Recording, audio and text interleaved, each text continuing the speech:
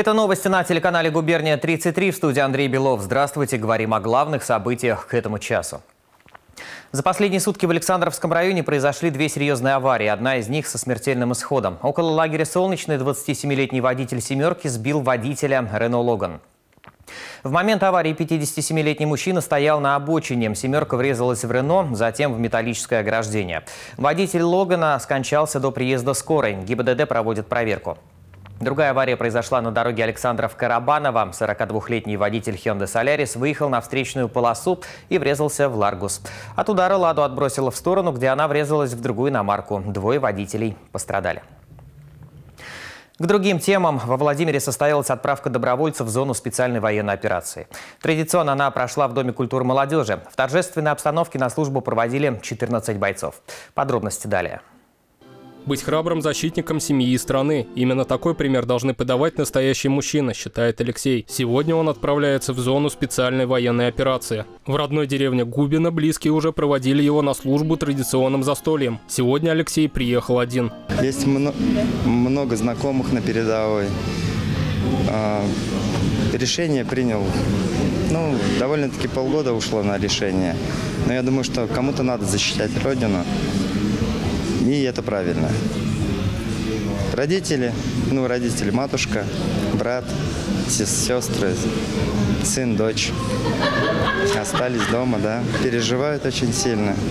Я думаю, что все будет хорошо. Сначала все мужчины отправляются в учебные части Минобороны. Там они пройдут учебную подготовку и познакомятся с опытными товарищами. Узнают о новом оружии и тактике ведения боя. После этого их распределят по военным подразделениям.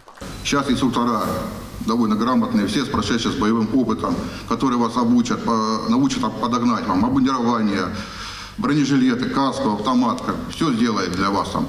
Только главное слушайтесь. Ну и самая главная задача, и что хочу вам сказать, самое главное, чтобы вы, при, когда под, подготовитесь при выполнении задачи, боевой задачи или учебно-боевой задачи, разные будет задача вам стать, чтобы вы выполнили ее с с духовным наставлением к добровольцам обратился священнослужитель Свято-Казанского храма города Владимира отец Артемий. Вместе с бойцами он прочитал молитву, а после благословил и окропил святой водой. Благодать Святого Духа Спаси, Господи, люди Твоя. Пополнить ряды добровольцев может любой желающий. Во Владимире пункт отбора на службу по контракту находится на улице 1 Пионерской, 92. Здесь можно пройти медосмотр и с помощью экспертов определиться с подходящей воинской специальностью. Также можно обратиться в военный комиссариат по месту жительства. Илья Морозов, Александра Маркина и Татьяна Семенова. Более тысячи работодателей региона готовы предоставить жилье или компенсировать его найм своим сотрудникам. Об этом рассказал министр труда и занятости населения Владимирской области Андрей Григорьев. Сегодня состоялся брифинг, посвященный главному кадровому событию года – Всероссийской ярмарке трудоустройства. Ее региональный этап пройдет 12 апреля. Уже сейчас на участие заявилось около 100 работодателей. Они готовы предложить жителям нашего региона более 4 тысяч вакансий в самых разных отраслях. От промышленности до сферы услуг. В ходе ярмарки соискатели смогут пройти собеседование сразу с несколькими работодателями, что поможет более взвешенно принять решение о смене деятельности. А, в свое время у нас была очень большая безработица. На сегодня безработица у нас самая низкая. А, всего на учете стоит э, в качестве безработных 2800 э, человек. Вот в этом году уже Поэтому кадровая потребность, она, естественно, присутствует, потому что э, на сегодняшний день у нас вакансий больше 21 тысячи. Естественно, производство расширяется, трудовые ресурсы нужны. Сотрудничество в области технологий поставки сырья и оборудования. Владимирский хлебокомбинат налаживает партнерские связи с Китаем. Совместные инвестиционные проекты обсудили во время визита делегации с провинции Шаньдунь во Владимирскую область. Гости из Китайской Народной Республики посетили производственные линии хлебокомбината и познакомились с историей предприятия. Подробности расскажут мои коллеги. Цель приезда делегации хлебопеков из китайской провинции Шаньдун – знакомство с одним из самых передовых хлебопекарных предприятий в России, изучение его технологий и практик работы. Также гости заявили об интересе к продуктам из России, в том числе к замороженным хлебным полуфабрикатам от Владимирского хлебокомбината. Очень рад в этот раз познакомиться с Владимирским хлебокомбинатом, увидеть производство, изучить его историю. Это компания с большой историей, хорошими технологиями, хорошей логистикой и хорошей продукцией. Мы узнали много интересной для нас информации. Мы готовы изучать опыт и говорить о сотрудничестве. Владимирский хлебокомбинат выпускает около 180 тонн хлебобулочных изделий в сутки. В ассортименте 240 наименований продукции, контроль качества строжайший. Среди приоритетов компании – развитие технологий и выход на новые рынки. Партнерские связи с Китаем – одно из перспективных направлений сотрудничества. Обсудили дальнейшее развитие, инвестиционные проекты. Наша группа компаний всегда развивается, и а, у нас много а, инвестиционных проектов, которые а, мы планируем реализовать.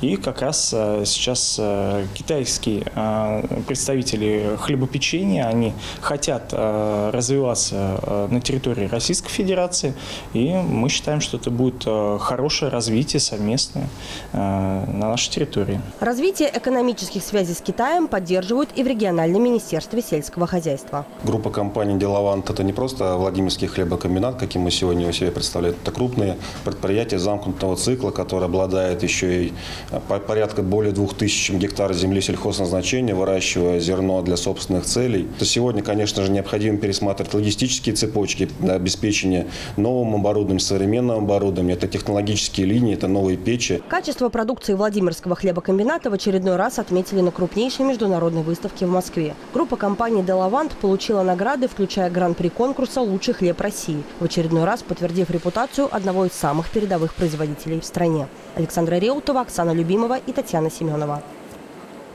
В Вязниках открылся четвертый в регионе Центр общения старшего поколения. Ранее подобные учреждения были открыты в Суздале, Гусь-Хрустальном и Камешково. В центре пенсионеры найдут все условия для активного долголетия. На открытии состоялся праздничный концерт. Для гостей выступили творческие коллективы районного дома культуры.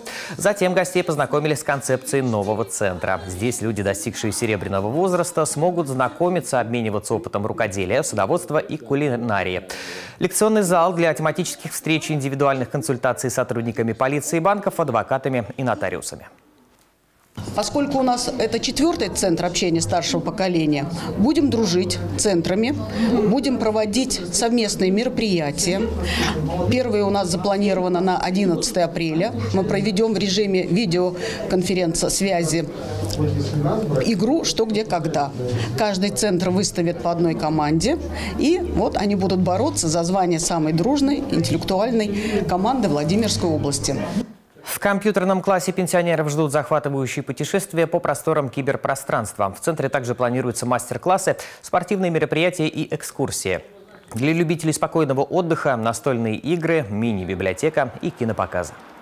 Я думаю, эта площадка будет не только для старшего поколения, но и молодежь тоже будет туда привлекаться для общения и передачи опыта, так скажем. Вообще в районе э, очень активные наши пенсионеры, э, наши, даже те пенсионеры, кто не состоит в общественных организациях, они посещают Дом здоровья, занимаются скандинавской ходьбой, посещают почти все мероприятия, которые проводятся управлением культуры. Они очень активны в общественной жизни. Воспитание живой природой. Необычный проект реализует благотворительный фонд помощи диким и домашним животным «Ангела Дом». Автор утверждает, что общение с животными способствует всестороннему развитию детей. Подробности расскажет Александра Маркина.